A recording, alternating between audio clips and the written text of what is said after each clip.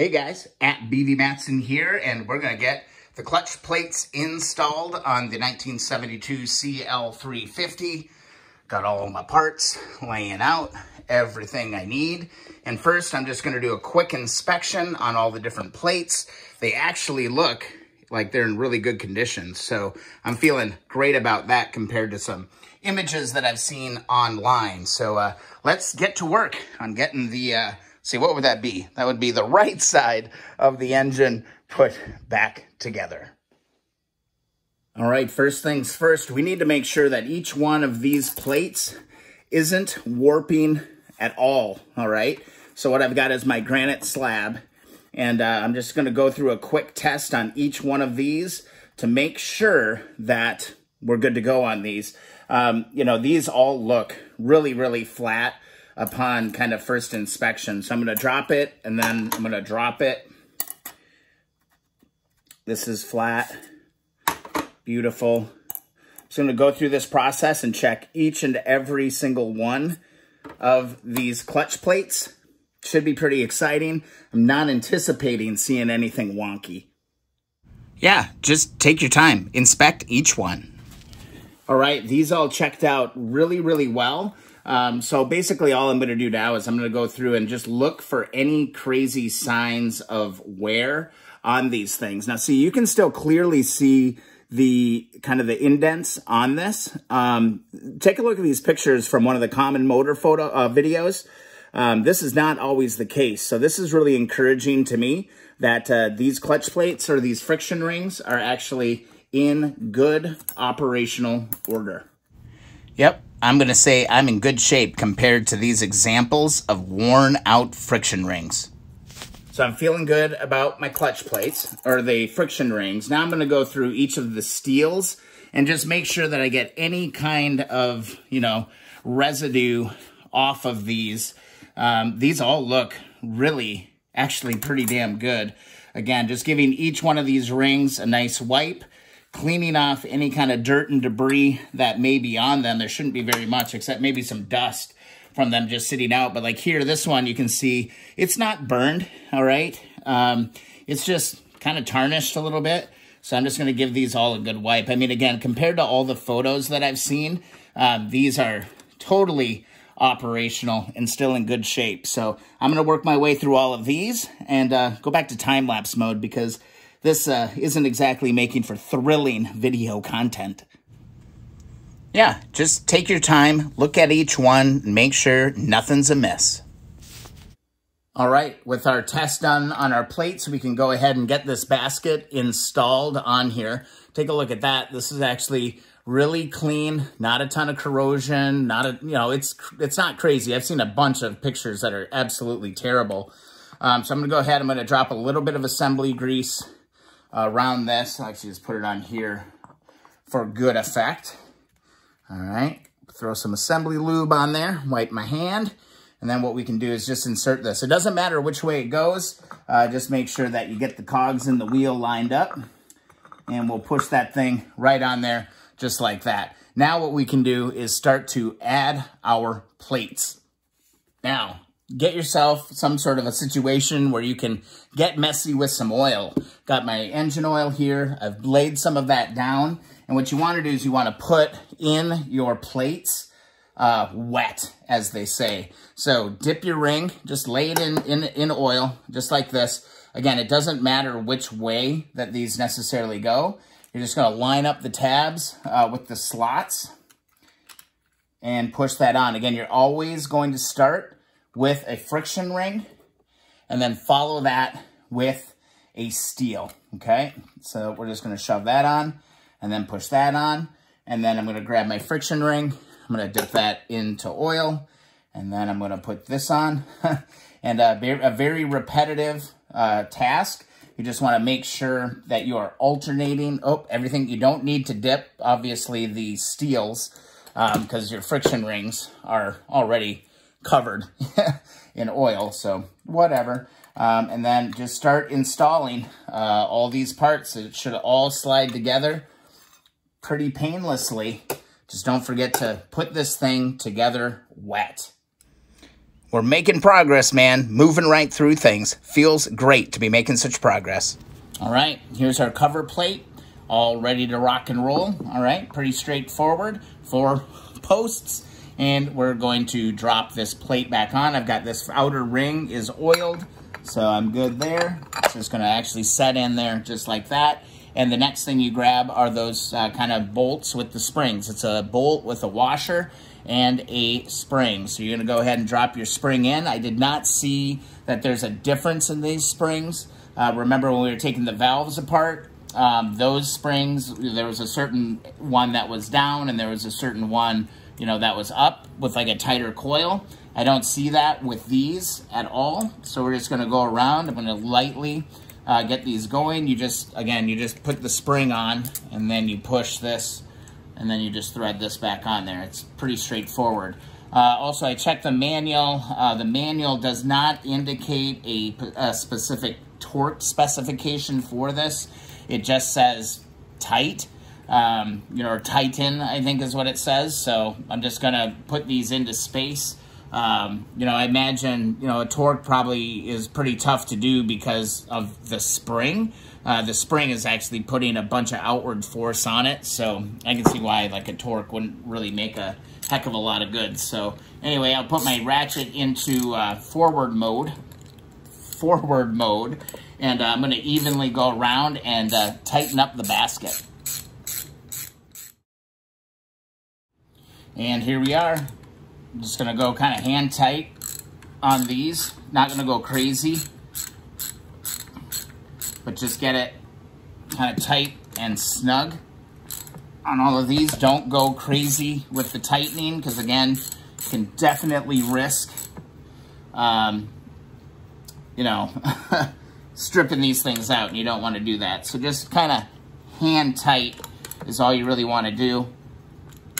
And then we're to be in business on getting that side cover in place, guys. There we go. Bada bing. Bada boom. I absolutely love it. This is fan freaking tastic. Um, let's get our side cover and let's get this thing buttoned up. So in preparation for putting that side cover on, I've got my white lithium grease in my hand and I'm just gonna spray down really well both sides of my side cover gasket. All right, really straightforward. Just in case I do have to get back in here, this is going to make getting the gasket off a lot easier. Awesome tip from, again, Common Motor. There it is. I feel good about that. Let's go back to the bike and get this thing in position. All right, I'm going to grab my gasket.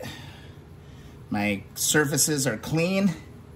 And I'm gonna go ahead and position this. That lithium grease definitely helps. Uh, you know, just kind of keep things in place while you're going. One thing to note, you're gonna have a dowel over here and a dowel right here. Need to give you a little bit better look at this dowel. Dowel right here, and then there's a dowel there. That's gonna be kind of your alignment marks. And then we can grab our cover. Now I'm really happy with how the cover came out. This thing was an absolute nightmare, and this thing cleaned up. Uh, take a look at this uh, before picture. I'm not gonna lie, this thing took some work to bring back from the dead. Yeah, like that night and day difference. You can see me. Hey guys, how you doing? Uh, very, very cool. So again, I'm gonna go back in time and I am going to go and get all of my pins. Here's all my pins for my cover. I believe it's oriented this way. Yeah, here's the, the Kickstarter. I've got all my new Allen heads kind of pump, put right into here so that I can easily start to transfer those onto the bike. Uh, first things first, um, you also don't want to forget this little washer, all right? I forgot this on my CB350 uh, that I restored last year, and it was like literally one of the last pieces in the box, and I went on a mad hunt trying to figure out where the hell this thing went. And it actually slips onto your, your uh, Kickstarter shaft. So I'm just gonna lube this up with a little bit of assembly oil. Just like that. Slide that on, give it a little spinny spinny. Just like that, maybe just a little bit more actually on the shaft itself. Can't hurt. Be liberal with your assembly oil, okay? And then the next thing we're gonna do is we're gonna position this bad boy onto the bike. Man, oh man, guys, this is, uh, this is amazing, actually. I'm so excited to be doing this finally. Just line this up, get it over on your, on your Kickstarter, and the thing should kind of slide right into position, your dowels. Again, they might hang you up just a little bit, but it should rock right into uh, where it needs to be. So just be patient. You might have to give her a little wallop with a rubber hammer, um, but uh, you really shouldn't. It, it, should go on pretty straightforward.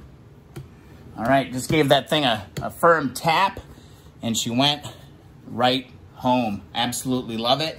Next thing, absolutely do not forget the anti-seize lubricant on these different bolts. Don't want to forget it. I'm going to actually just flip my board around and just let's do some painting, okay? Let's just paint the ends of each ones of our bolts while it's in the cardboard. This makes it really nice and easy. Uh, gets it, and it also kind of saves some mess. This is kind of nice technique. I literally just created it, guys. I'm going to go copyright this technique um, for, for expediting applying uh, anti-seize lubricant um, to your nuts and bolts. Again, look at that overspray. Brian don't care. Brian just goes for it and just, uh, you know, gets it all good to go. So, got my anti-seize on all of my bolts. Let's orient my thing just like this. And let's start inserting. So we've got one right here. Get that loosely started. And we're gonna work our way around. Again, I'm just kind of getting those first few threads installed. Now again, these, these are uh, varying lengths, so refer you know, to the documentation um, that comes along with things. But I love these cardboard cutouts because, I mean, it basically eliminates um, any kind of error that you can make in doing this. We're gonna go ahead and get this bottom one put in. And another one on the bottom, just like that. Another one on the bottom. and two more to go before we call this done. All right, well, not done, because we've got to tighten all this stuff up too, which is going to take take a little while. But we've got all these in position, and now we're ready to grab our Allen wrench and start tightening up these pieces. Um, yeah, this is uh, pretty awesome. I'm, I'm so excited to finally be to this point. So uh, uh, this is fan freaking tastic. I'm to just go ahead and start tightening these things up. Oh, and you know what? While I'm tightening these things up, let me show you the awesome documentation that Common Motor includes with their bolt kits. I absolutely love it. Uh, oh, one more note before I do that too. Like, don't go just around and around when you're tightening these things. Um, you know, kind of do a crisscross pattern you know, get one to kind of seat and then move to the other side. You want to do this nice and evenly. Don't just go all the way around. Um, kind of, you know, spread your actions out just a little bit. I was on one side, then I'm going to go to the other side. So anyway, hey, let me uh, show you that documentation because it's freaking handy. Um, I absolutely love it, and I, I'm going to keep those things on, on hand for any kind of future reference uh, that I may need. And here's what I'm talking about. In the engine kits, or the, the bolt kits that you get from Common Motor, not only do they tell you exactly which bolts go where, they have real life-sized lengths indicated here by letter. So no matter what you're working on, you can just go and say, oh, I need a D. Oh, and then here's a C. And you can just get the bolts out, lay them right onto this. And uh, tells you exactly what sizes it is. I mean, this is an amazing little resource that they that they put together. It goes through that whole engine bolt kit. So uh, thank you, Common Motor, for putting together something so freaking useful. All right, we're headed for the finish line here on tightening these up. All right, these have all started, and now it's time to just kind of tighten these things up. And again, you want to just go around and around, you know, not in a direct line, and just work your way up. Don't go, you know, crazy tight with these. Um, you know, just a nice snug tug on it um, should do you just fine. Just nice and snug is all that you're really going for. Um, just work your way around this thing till you got them all right where you need to be. All right, I'm gonna work my way around one last time, give them each one more little snug pull.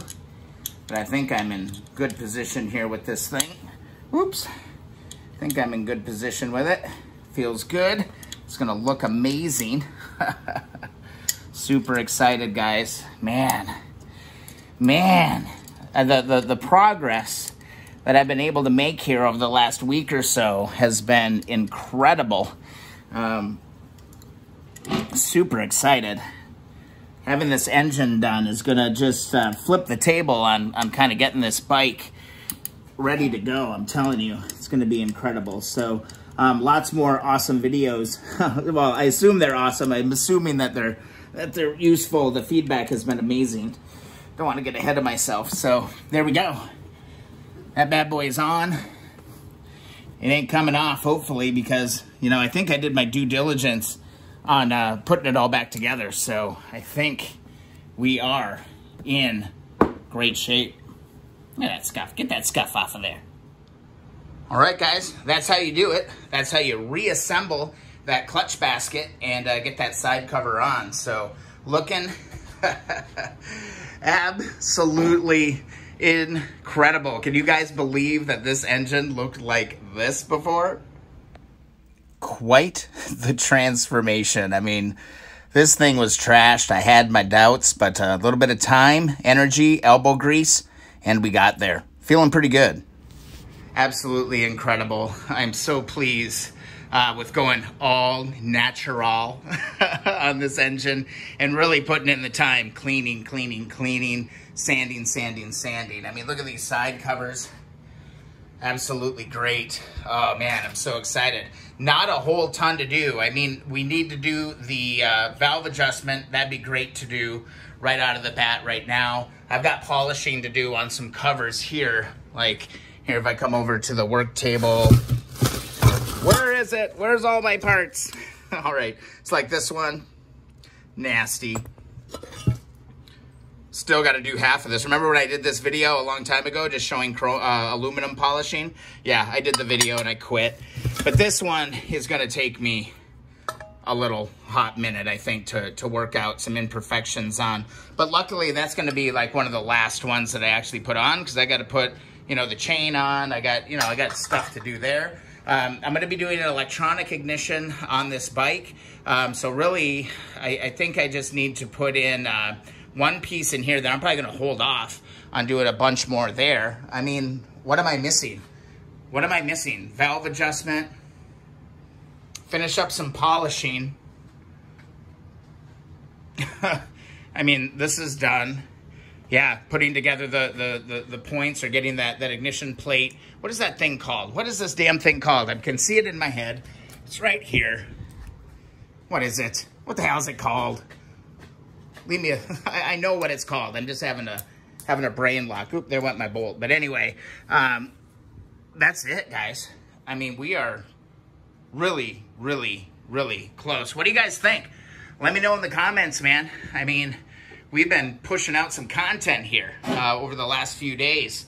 And uh, man, I'm absolutely loving how this is all coming together. So um, pretty soon it's going to be going back in that bike. absolutely incredible, guys. If you enjoy the videos, please subscribe, thumbs up those videos that you enjoy. Follow along Instagram and Twitter at BV Matson. We're making progress on the 1972 CL350. I have no idea what I'm going to do next. Maybe we'll install those intakes. I, I, I don't know. I got to sit back, relax, crack a beer, and celebrate the little victories while we can. All right, thanks, guys. See you in the next video.